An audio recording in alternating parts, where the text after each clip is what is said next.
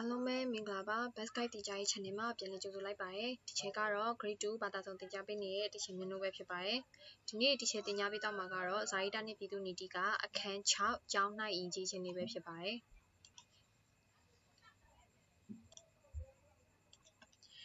အဲ့တော့ teacher တို့သင်ခန်းစာ6ကျောင်း၌ယဉ်ကျေးခြင်းမှာဘာတွေပါမလဲလေ့လာကြည့်ရအောင်ပထမအဆုံးသူကမေကွန်းလေးနေ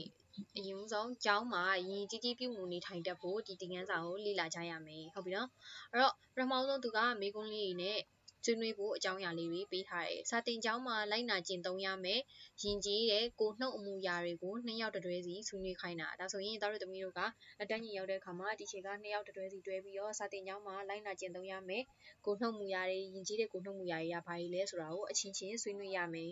ပြီးရင်ညစ်ပတ်နေတဲ့အကြောင်းဝတ်စုံဝတ်သွားရင်သူတစ်ပါးကိုအနှောက်အယှက်ဖြစ်စေသလား။ဘာကြောင့်လဲမိကွန်းလေးမိထားတာ။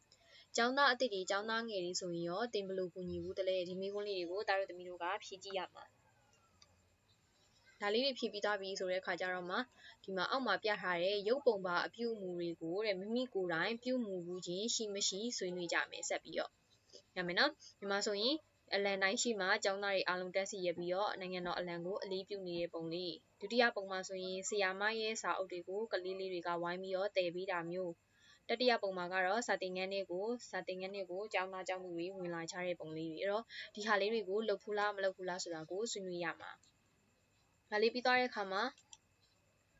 နောက်ထပ်တစ်ခုအနေနဲ့စာသင်ခန်းနှခမ်းကိုကြည့်ရှုလေ့လာပြီးတဲ့ကွာခြားချက်ကိုပြောပြပါတယ်။ဒါဆိုရင်ဒီမှာအပေါ်မှာလဲစာသင်ခန်းတစ်ခမ်းအောက်မှာလဲစာသင်ခန်းတစ်ခမ်းဒီပုံနှစ်ခုကိုကြည့်ပြီးတော့ဘာတွေကွာခြားလဲတာတို့သမီးတို့ကပုံလေးတွေကိုကြည့်ပြီးတော့အဖြေရှာလာခဲ့ရမှာ။ရမယ်နော်။ ဒါဆိုရင်ဒါလေးတွေကိုလည်းအဖြေရှာလာခဲ့ပြီးဒီချက်နဲ့တူတူတန်းညီညာရေးပြောကြမယ်နောက်တစ်ခုကတော့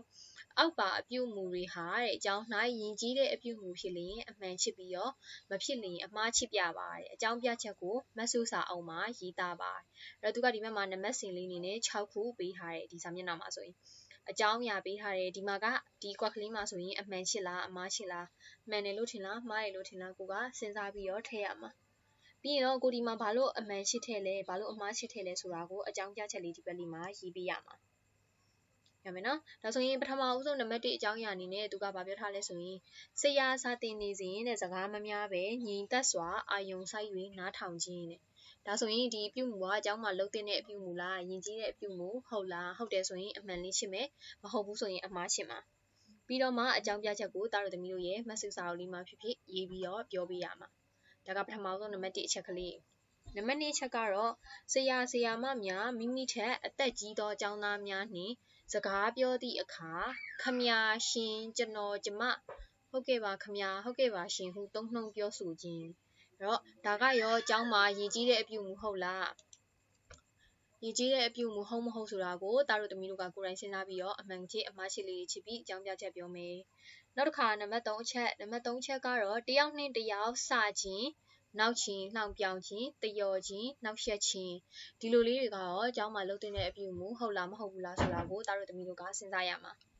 နံပါတ်၄အချက်အနေနဲ့ကတော့စာသင်ခန်းအပြင်သို့ထွက်လိုပါကအတန်းဆရာကိုယူတည်စွာခွင့်တောင်းခြင်း ဆရာဆရာမများနှင့်ဆုံသည့်အခါတိုင်းယူသည်စွာနှုတ်ဆက်ခြင်း၊ကျောင်းသားတစ်များကိုကူညီခြင်း၊ကျောင်းသားငယ်များကိုစောင့်ရှောက်ခြင်းဒီအချက်ကလေးတွေအကုန်လုံးကိုလည်း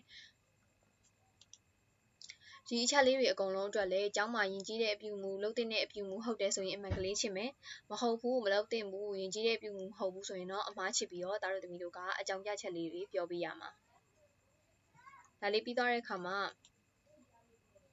နောက်တစ်မျက်နှာမှာကတော့သူကကြပြာလေးနဲ့မိကုန်းလေးတွေမိထားတာအဲ့တော့ကြပြာလေးကိုဒီချက်ကဖတ်ပြမယ်တာတို့သမီးတို့ကနားထောင်ပြီးတော့အတန်းညင်ညင်ဒီချက်ကိုပြန်ဆိုပြရမယ်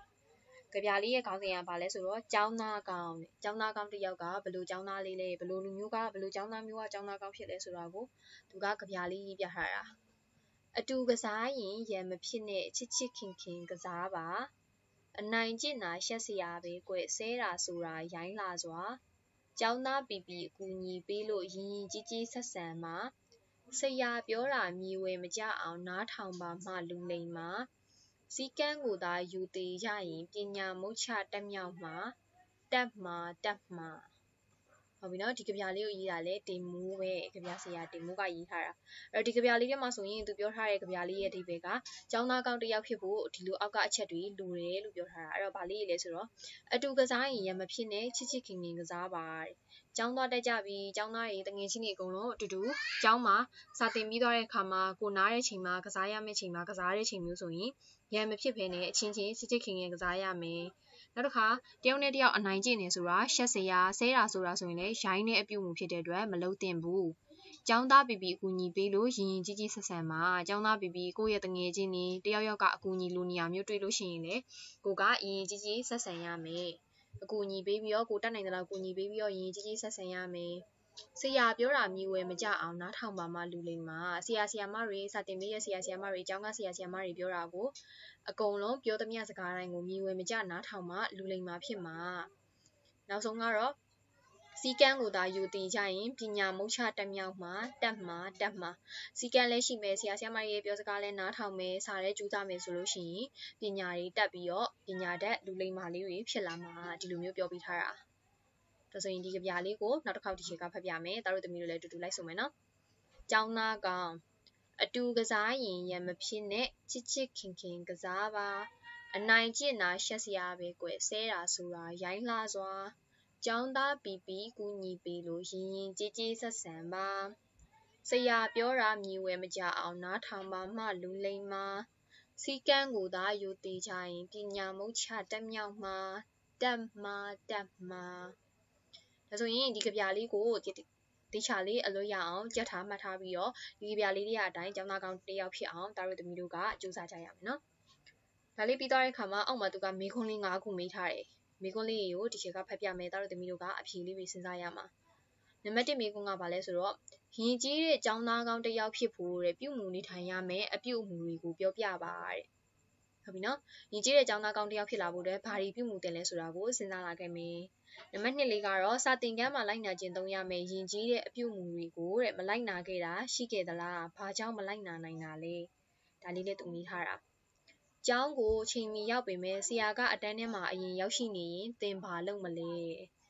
ဒါဆိုရင်လည်းအကြောင်းကိုအချိန်မီရောက်နေပြီးတော့ကိုကနောက်ကျနေရဲဆရာဆရာမတွေကအတန်းထဲမှာရောက်နေနေပြီဆိုရင်ဘာလုပ်ရမလဲ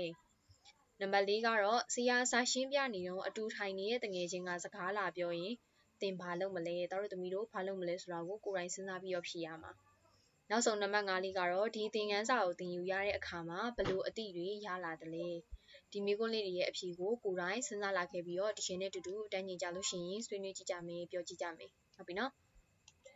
ဒါဆိုရင်ဒီချက်သင်ခန်းစာလေးကိုဒီမှာပဲရန်နာလိုက်ပါမယ်ဒီချက်ကဒီသင်ခန်းစာလေးကိုတာတို့သမီးတို့နဲ့စာတင်ရင်ရောက်တဲ့အခါမှာအချင်းချင်းဆွေးနွေးတိုင်ပင်ပြီးတော့အဖြေလေးတွေစဉ်းစားကြည့်ကြမယ်ပြောကြည့်ကြမယ်နော်ဒါဆိုရင်နောက်လာမယ့်သင်ခန်းစာတွေမှာပြန်ပြီးတော့တွေ့ကြပါမယ်